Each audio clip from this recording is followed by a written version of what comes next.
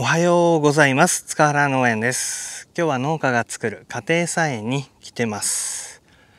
今日は秋から種をまいたり冬に育てている野菜成長しているもの収穫したものまたこれから収穫するものとちょっとご紹介をしていきたいと思います。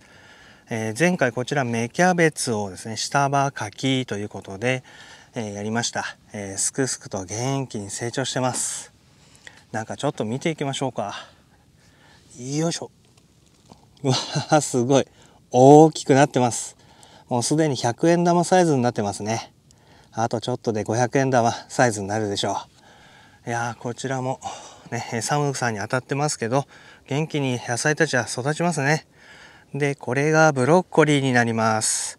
まあ、超辛ライといって上にブッと出た大きなものを先に全部収穫が終えました。うん。で、これはおはようブロッコリーという品種なんですけれども、収穫が終わった後も脇から花芽がどんどん出てくるんですね。えー、それがこれです。大きくなりました。えー、収穫した後追肥をしたんですね。株元の周りに。そうしたら、これが、はい、こんなに大きなものが今2つ、えー、出てますね。すごく大きいです。もうゴルフボールぐらいの大きさになってますね。これも収穫できます。ね、これはもともと小さかったんですよね。それはこんな感じだったわけなんですが、これがここまで大きく成長しました。いやすごいですね。これも美味しくね、えー、食べれることができます。で、えー、カリフラワーもすくすくと、えー、元気に、じゃーん 真っ白、えー、綺麗なカリフラワーができてます。これカリフラワー未生という品種なんですけど、これもすごく綺麗ですね。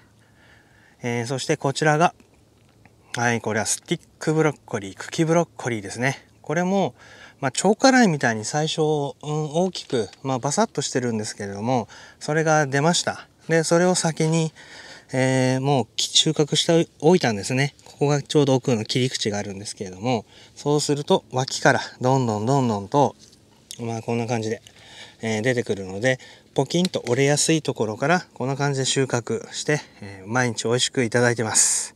美味しいですよね。このスティックブロッコリー、茎ブロッコリー。えー、ブロッコリーは特に、えビタミンがすごく豊富です。うんなんかブロッコリーを食べていると免疫力がつくということで結構ブロッコリーは、うん、家庭菜園の方からもすごく人気ですね。はい、でまだ収穫していないものがこの中にあります。はい、えー、ロマネスコですね。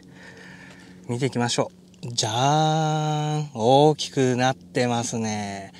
えー、これはネオスパイラルという品種だったかな。まあ、いろいろな品種があるんですけれども、ちょっと変わった花野菜です、えー、カリフラワーの一種ですよねカリフラワーとかっていうのはま花野菜、ね、花のつぼみを食べる野菜になりますこれかなり大きいので取っていきましょうかいやこれ葉っぱもすごく大きいですよ。いやすごく大きいですね。これ収穫をする仕方はまあカリフラワーと同じですね、えー、白いカリフラワー、まあ、オレンジ色といろいろありますよね。これを葉っぱを横に倒していただいてまずは外に広がっている葉っぱを落とし合います。これは何度も収穫できるタイプではなくて1回限りのものになります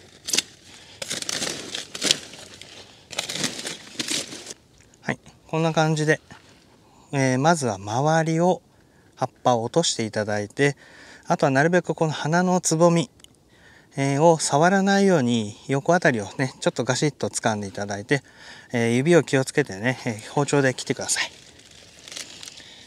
初めて収穫される方は少し下の方から切るといいかもしれません、は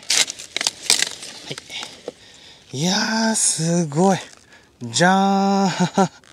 最高級のロマネスコが取れました。この 何て言うんですかね。うーんあのサザエがいっぱいついてるみたいな感じですよね。大きさはもう手のひらと同じぐらい。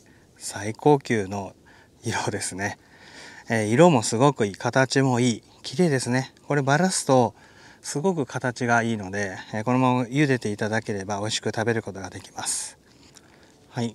これはもう学校給食で、えー、今度ですねえー、地元のところでもこれ出ますので見ている方いましたら、ね、これ美味しいので給食で皆さん食べてみてください。ね、じゃあこちらついでに前回も収穫しましたがカリフラワーですね収穫してみましょう。せっかくなので、えー、緑と、え、この白とどんな感じにね色が違うかということで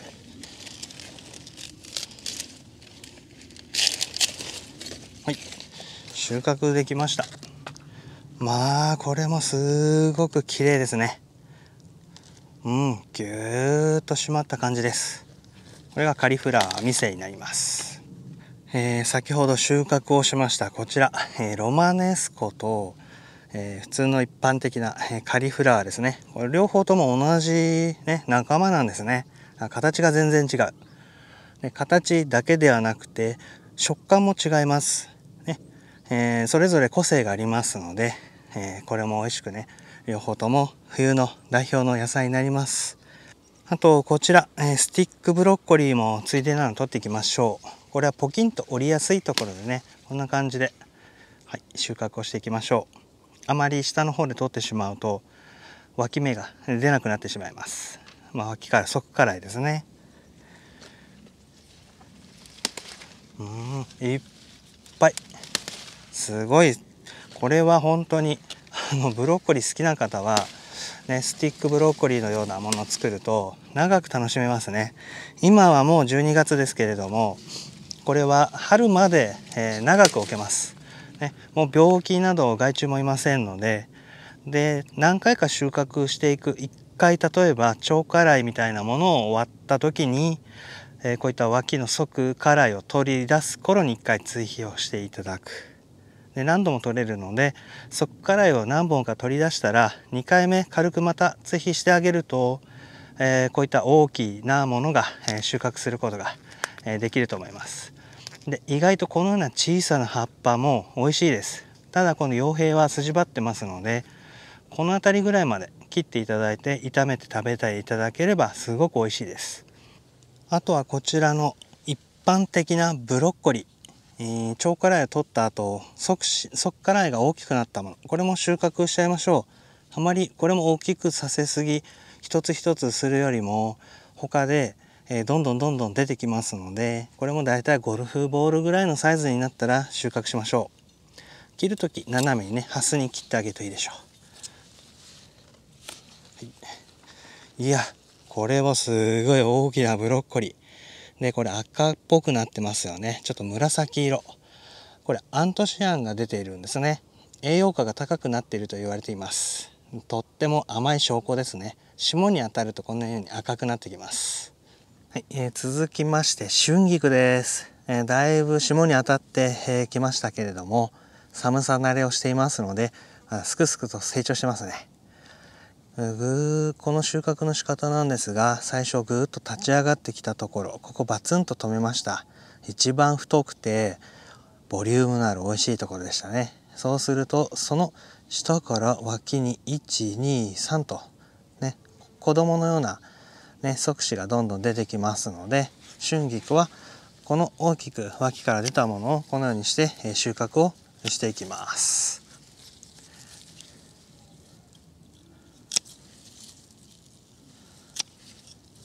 これも鍋料理に、えちょうどいいんじゃないでしょうか。この軸もね、えー、美味しくいただけますのでここも捨てずに摘み取っていただいたものはああいうものまた鍋料理いろいろなものに活用して美味しくいただきましょう。いやーこちら見てください。これ小松菜になります。大きくなりましたね、えー、小松菜も寒さに当たれば当たるほどとてもね、甘く美味しくなります。行っていきましょう。いやー、太いですね。これはすごい。お、いい感じですね。取っていきましょうか。まずは、鎌などでね、収穫するとすごく楽です。で軸などが泥がついてますので、ここで落としちゃいます。で、下の子供の葉っぱがありますので、えー、子供の葉っぱなどをこういったものを畑で落としちゃいましょう。ね、こう掃除していただくと後で、えー、楽です。いやすごい最高級の、え、小松菜が、え、収穫することが、え、できました。いいっすね。青々としてます。はい、えー、続きましてほうれん草の収穫をしていきましょう。3つの品種を育てました。こちらはサラダほうれん草です。ふわっとした状態ですね。じゃあ今回は真ん中の黒のほうれん草を取っていきましょうか。いや寒さに当たってるのこれは甘いんじゃないですか。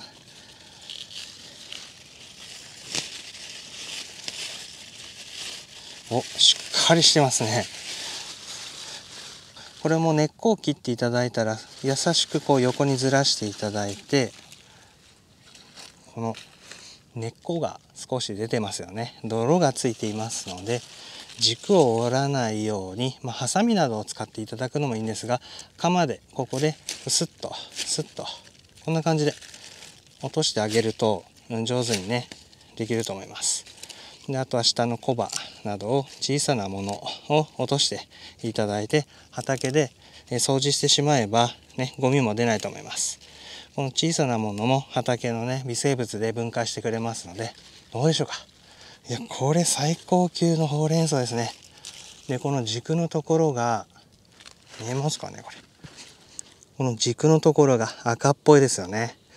これがだんだん赤くなってくれば赤くなるほど甘さが増しているということですね。はい、えー、そしてこちら花満開ですね。12月だというのにすごく綺麗な、えー、菜の花のように花を咲かせております。えー、これアスパラナなんですけれども、今まで散々収穫をたくさんね、楽しませていただいたんですが、えー、あえて今収穫してません。というのもですね、今ミツバチさんたちがいっぱい来てるんですよ。花粉を集めたりこれから厳しい本格的な冬の寒さが来る前に今花って咲いてないじゃないですか。だからこうせめてねここでいっぱい冬が越してまた来年美味しい、えー、蜂蜜がねいただけるように蜂さんたち用に残しておいてます。えー、畑とかにですね花とかを植えていなかったとしてもその菜の花みたいな形で、まあ、その説に応じてですねこのアスパラとかも綺麗にね黄色い花を咲かせたり、えー、春になれば大根そのままにしておくと白い花を咲かせたり意外と花もあるとこうね、えー、菜園であるといいですよね。野菜を収穫しつつこういった自然のえ生き物たちが集まってねいろいろな蜜を集めたりしている姿を見たりするとすごく気持ちがいいものですね。まあ共存ですよね。うん、こうまあ、人工的に育てている、うん、こちら野菜ですけれども、うん、こういったものもねミツバチたちに分け与えてあげる。うん、でそんで春になったら美味しいね蜂蜜をたくさんね僕たちが、えー、美味しくいただけるということなのでこれもお互いに共存していきましょうということですね。